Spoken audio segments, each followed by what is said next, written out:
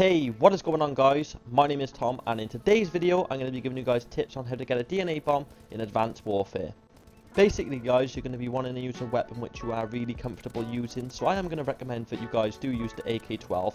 And as you see there guys, I pick up a nice quad feed and um, I didn't even have to try and win a gunfight because I shot them all in the back so it was a nice bunch of easy kills. You are going to want to try and shoot people in the back because if you do try and get into a head-on-head -head gunfight just like I am right here, you can die very easily due to the connection drop in or you know your aim may go a little bit wild because you may be close to the DNA bomb and your adrenaline might be pumping anything can happen so try and get all your kills in the back but um, anyway guys I'm going to recommend a gun. I'm going to recommend the AK-12 and um, some of you guys may be thinking can I use the Bal for this course? You can use the Bal guys, but um, in today's video it's going to be an AK-12 guide and what to use on the AK-12. So I'm going to recommend the stock just so that you have a little bit more mobility when you're moving, just when you're aiming down sights. As you see there, I can move around pretty quickly.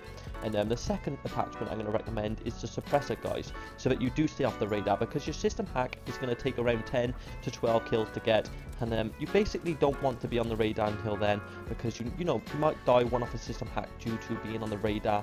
And I know I don't use the suppressor very often, but the suppressor is a really good attachment, and I do recommend using it.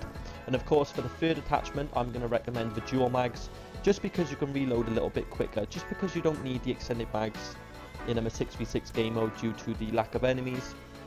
But um, you're still going to want that fast reload, guys. You know, it might it might help you out a lot the score streak setup, which I'm going to recommend you guys, is going to be the UAV with the threat detection and the extra time. It's going to take around 800 points to get, so it is going to take quite a few kills to get, guys. But um, if you guys are going to be struggling getting the 800 points, I would recommend putting the support on it, which will bump it up to 11.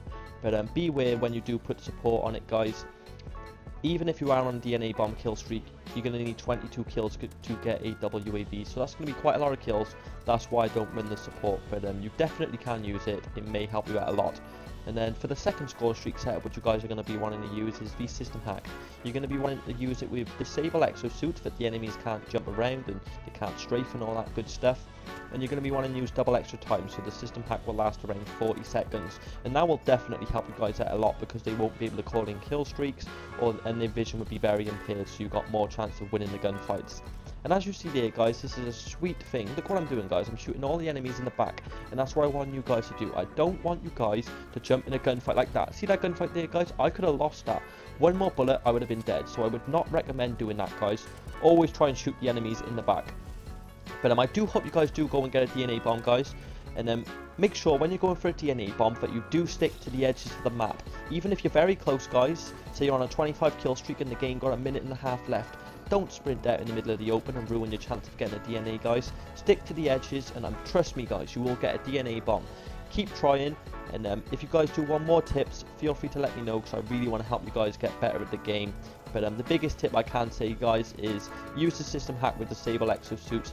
Use a weapon you're comfortable using, and stick to the edges of the map.